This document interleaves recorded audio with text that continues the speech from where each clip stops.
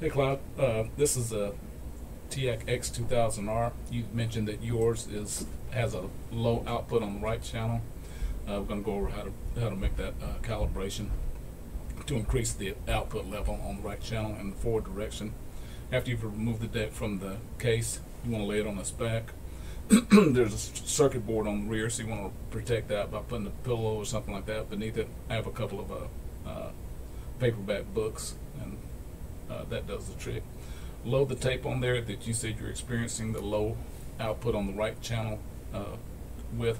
Put the uh, output knob at the 3 o'clock position, or where it says calibrate, and then begin playing that tape in the forward direction.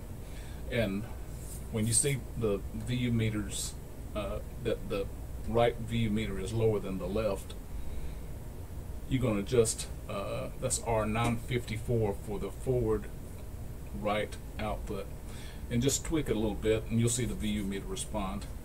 Uh, there are three other adjustments for the output levels. Uh, R554 and 954, as I just mentioned, are the right and left channels in the forward direction. R555 and 955 are the left and the right channels for the reverse mode. But yeah, that that R954, and it's located right here, that should take care of the uh, low output you have in the forward direction on the right channel.